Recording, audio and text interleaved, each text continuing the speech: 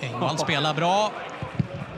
Första riktiga ingripandet från målvakten då. Fint direktspel. Eh, var det Gustafsson. Här Olsson. Kolla där in och spela in till